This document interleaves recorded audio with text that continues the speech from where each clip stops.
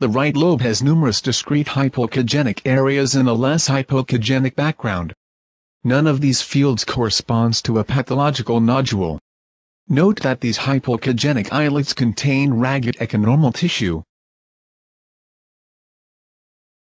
The left lobe has similar hypoechogenic areas.